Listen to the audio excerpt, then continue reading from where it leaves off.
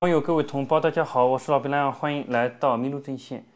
那么北约的峰会啊，在这里召开着啊。那么现在呢，他们进行了这个场外的互动会啊，反正就是一队又一队的啊，开的这个会议嘛，对中国发动这样的谴责，那样的呼吁，台海的稳定啊，台海的和平，南海的什么自由航行。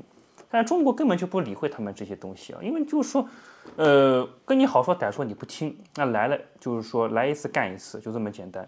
那么现在大家知道，呃，中国呢有很多方面的反制啊。第一个呢，呃，美国波音对中国采购近三百架空客飞机感到失望啊，他就是说啊，开始说这个怪话了啊，意思就是中国跟啊这个法国的空客公司跟中国军工复合体有某种。不可告人的秘密啊，说的很难听。那么这个确实对他打击很大啊。还有一个事情就是，呃，中国稀土成立国际贸易公司，进一步巩固和垄断啊稀土的这个啊呃贸易啊和这笔生意啊，对美国又是一个最大的打击啊。我们来看一看，好吧？呃，美国波音对中国采购近三百架空客飞机感到失望。中国三家航空公司南方、中国国航、中国东航。七月一日发布公告称，向空客合计购买二百九十二架空客 A 三二零啊 neo 客机。美国波音公司抱怨中国与美国的贸易竞争争端损害了自身商业前景，地缘政治分歧继续制约美国飞机出口，令人失望。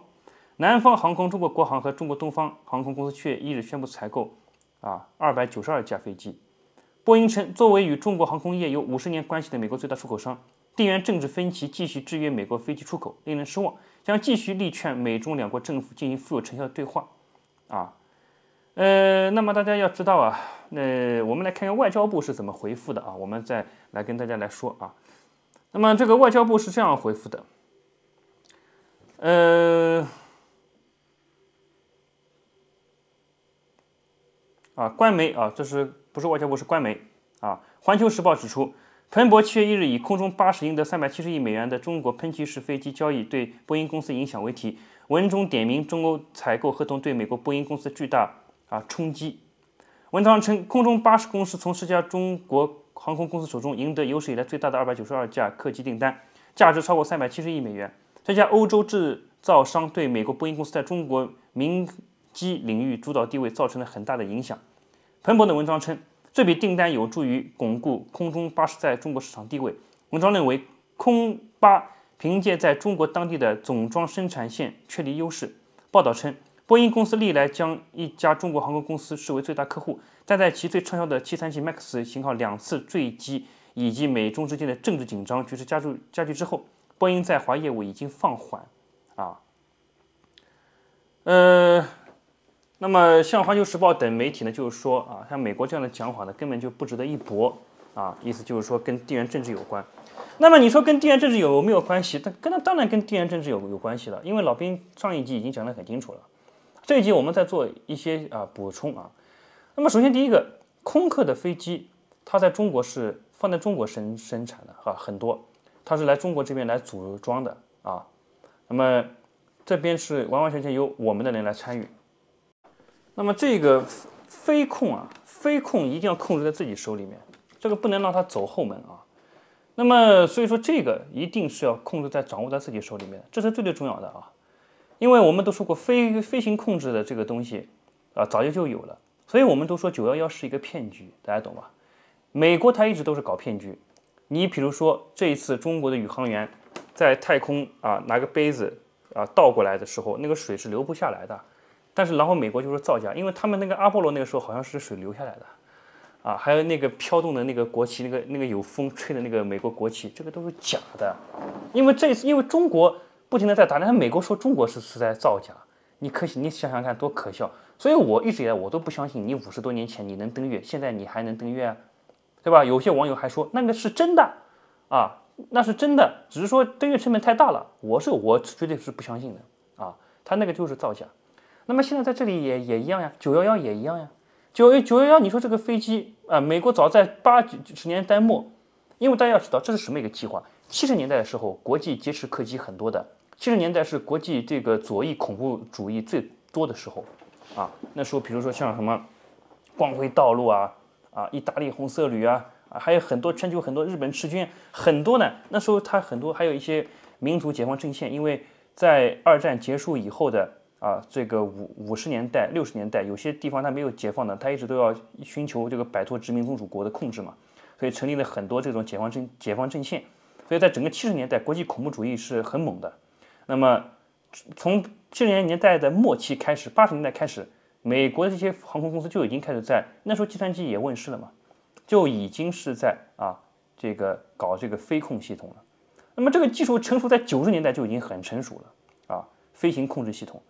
那你说你两千零一年九幺幺是怎么撞上去的？可能吗？别人劫持到驾驶飞机就可以撞？那是不可能的，驾驶员根本就没办法去操纵这架飞机的。你就像一个玩遥一个遥控飞机一样的，大家懂吗？你给你小孩买玩具有遥控飞机，这种大飞机也是可以遥控的，更何况这种大飞机呢？对吧？你自己驾驶一架飞飞机哦，只要有什么可以遥控的哦，就可以来这样操作。这种机器的里面这么高科技的东西，难道不可以遥控吗？老兵已经跟各位已经东航的事情出来以后，我跟大家已经分析的够细致，很很透彻。还有这个撒旦主义。我说撒旦主义，哎，空中画一个一个大十字架，对吧？三个六六六六六六，这不就是撒旦的符号吗？今天俄罗斯对这个乌克兰的战争，他也称之为什么？他也称之为啊，消灭撒旦主义啊，打击撒旦主义。什么叫撒旦主义？不就是他们美美国他们这些搞的事情，不就撒旦吗？所以说这个在空客这个飞机，我我订单我的钱我给他了。那组装在中国生产，我 C 九幺九，我自己的总总装厂也是在在中国的，我可以自己把控的。但是你看，美国什么时候把波音的总装厂放到中国来总装啊？对吧？没有的事，他都是在美国，他弄好了以后，飞机直接就飞过来，啊！大家要知道，曾经啊，呃，江泽民买了美国的这个飞机，就是呃国家领导人的专机。在上面发就是美国波音飞机啊，就是国航的嘛啊，在上面发现二十二个窃听器啊，那你想想看，他为什么不在你中国这边组装啊？他在那边他组装，他就是动这些手脚啊。所以说美国波音他订单飞了啊，也不要他妈说冤枉啊。这一次东航的事情是怎么一回事儿，对吧？这个北京是一清二二楚啊啊，是吧？所以老兵就说过了，坐飞机能有看到这个波音系列的飞机，我说在中国境境内啊，能不坐就别坐啊。你是在国外的，你可能他不会搞你啊，啊。但是我还说句那说，能坐空客的就坐空空客啊。还有一个，为什么空客要在中国来来来组装？万一美国的这个网络部队啊进入到他们这个空客的这个操作系统当当中去啊，在里面再进行这个飞控。那你说中国跟法国之之间怎么办？所以说这个玩意儿百分之百一定要掌握在自己手里面，这东西有后门的啊，飞控系统啊，这个计算机编程这一块儿啊。那么这是一个对美国的一个反制很重要的。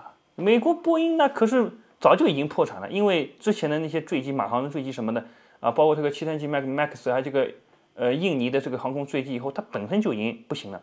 就是靠美国军工复合体在那里给它托底呢，啊，现在你看，啊，丢掉中国这么一个大客户，我看他还怎么玩啊？所以说这个很非常邪恶。第二个事情，我们来看一下中国另外一个反制，中国稀土成立国际啊贸易有限公司，中国稀土集团国际贸易有限公司七月一日于江西赣州成立，有利于加强与稀土行业啊，赣州成立有利于加强与稀土行业啊。上下游、横纵向及不同领域之间的深度合作。中国稀土集团官微消息：中国稀土集团国际贸易公司成立，是中国稀土集团加快贸易资产实质性深入整合，推动产业协同、业务聚合增效，实现聚合效应的重要举措。中国稀土集团国际贸易公司成立后，将聚焦推动实现中国稀土集团贸易运营一体化，加强与稀土行业中下游。横纵向及不同领域之间的深度合作，致力于打造世界一流贸易企业。公司经营范围包括矿产资源、非煤矿山的开发、啊开采、金属材料销售、金属制品销售、稀土功能材料销售、高性能有色金属及合金材料销售等。二零二一年十二月二十三日，中国稀土集团有限公司由中国铝业集团有限公司、中国五矿集团有限公司、赣州稀土集团有限公司、中国钢岩科技有限公司有限啊这个有盐科技集团有限公司组建而成。啊，这个就是对美国最好的这个打击跟报复。美，大家要知道，我已经跟跟各位讲得很清楚了。你比如说美国，它造这些武器啊、子弹，还有它这个远望镜啊、望这个望远镜啊，或者这个狙击枪上面的这个啊瞄准镜啊，都要几几乎百分之百是要从中国进口这个金属啊梯的，这是和这是湖南冷水江市的啊，应该是属于娄底的吧。还有江西赣这个赣州的这些啊稀土，这个对美国的尖端武器非常重要啊。它的 F 三十五战机如果没有这个玩意儿，它就不是隐形战机了。哈，大家大家要知道啊，大家一定要明白，隐形是隐形是什么意思啊？我们应该跟大家讲的很清楚，隐形不是说这个飞机啊你看不见它，而是说雷达照不到它，仅此而已啊，能把雷达给吃掉啊，或者屏蔽掉雷，就是把雷达啊。过滤掉，这是它这个隐形的主要的这个作用啊。所以说呢，你美国尤其是洛马公司，尤其是啊美国的这个军工，还有一些半导体产业啊和很多的尖端科技的产业，都是要用用到稀土的。那中国现在就是你要你要搞嘛，我就来搞你了，对吧？我就是越来越横向、纵向，我全部都垄断，整个环节我全部都控制住。我们拥有最多的专利权，我们也控制的。上中下游的所有的渠道，这个就是你美国不是要来跟我来搞什么制裁吗？我这个制裁我就能要你命啊！我说上天是公平的，对吧？中国没有油气资没有油气资源，油气资源比较匮乏，但是中国的稀土是全世界最多的啊，对吧？你美国不是说你有稀土你可以去开采就可以开采，那不可能的事情，专利都在我这边。怎么样提炼这些东西？我也有这个技术，啊，对不对？就好像汽车，他们很有优势。中国现在是世界上造造造车第一名，但是呢，我们得付很多专利费。他们开采稀土也一样的，你用这种方法去开采，你也得付我专利费，对吧？但你自己你搞不定啊，搞不赢的啊。所以说呢，对这个空壳公司的这个制裁打击和这个稀土行业的这个制裁跟打击。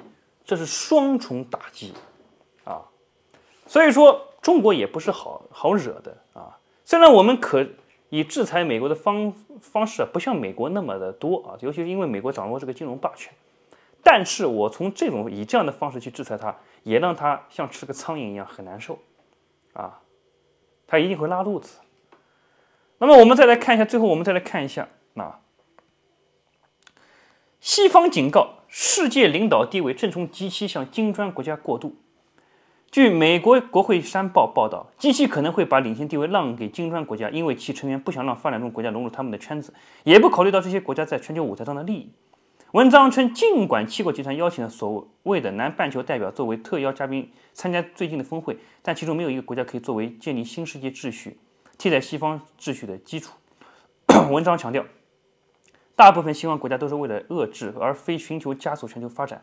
此外，西方领导人正试图让南半球国家都站在他们一边，包括在乌克兰局势上，这在发展中国家很少有得到积极和的回应。